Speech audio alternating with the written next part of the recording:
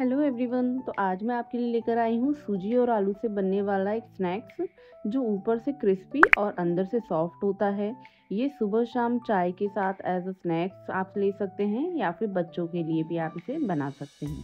तो इसे बनाने के लिए मैंने एक पैन गरम किया है और उसमें डाला है दो चम्मच तेल, सरसों के दाने, जीरा और तिल के दाने।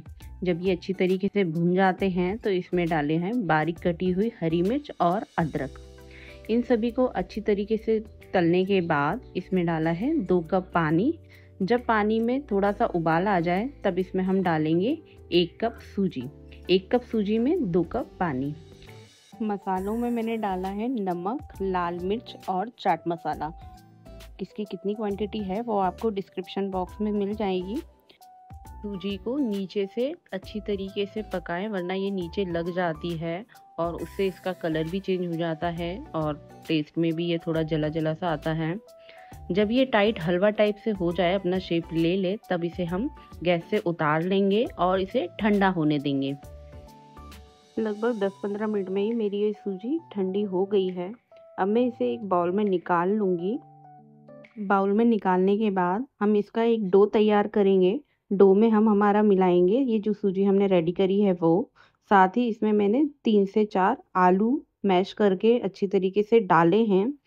आलू अच्छी तरीके से उबले होने चाहिए ताकि इसका एक सॉफ्ट डो तैयार हो। साथ ही मैं इसमें डाल रही हूँ हरा धनिया बारीक कटा हुआ। इससे ये दिखने में भी अच्छे लगेगा, साथ ही इसका टेस्ट भी काफ़ी अच्छा आएगा। इसे अच्छी तरीके से मसलते हुए हम इसको लंबा लंबा शेप में इसे रेडी करेंगे। और इसके हम अपने शेप में हमें जो भी शेप देना है, हम उस शेप में इसे कट करेंगे। आप इसे गोल गोल शेप में भी दे सकते हैं और इस तरीके से जैसे मैंने करा है, इसे आप लंबा लंबा भी कट कर सकते हैं या छोटी छोटी पूड़ियाँ बनाकर उसका भी शेप दे सकते हैं। आप इसका अपनी मन चाहे जो भी आपको लगे, आप वाला शेप दें। हमारे सूजी के स्नैक्स का शेप बनकर पूरी तरीके से रेडी है। अब हम इसे फ्राई करेंगे। फ्राई करने के लिए मैंने एक कढ़ाई को गर्म किया है। और उसमें तेल डाला है।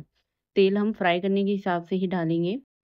गैस की फ्लेम को मैंने मीडियम टू हाई रखा है। थोड़े थोड़े करके डालेंगे, एक साथ सारे स्नैक्स को हमने इसमें नहीं डाला हुआ है सूजी के। तो इसे गोल्डन ब्राउन होने तक हमें इसे फ्राई करना है और इसी तरीके से मैंने अपने सारे स्नैक्स को फ्राई कर लिया है। दिखने में काफ़ी सुंदर लगते हैं और काफ़ी क्रिस्पी भी हैं, अंदर से सॉफ्ट हैं। आप इसे बच्चों को, बड़ों को, सभी को काफ़ी ज़्यादा पसंद आएगा। बच्चों को आप लंच बॉक्स में भी रख सकते हैं। अब यदि वीडियो आपको पसंद आ ही गया है तो सब्सक्राइब भी तो करते जाइए। Thank you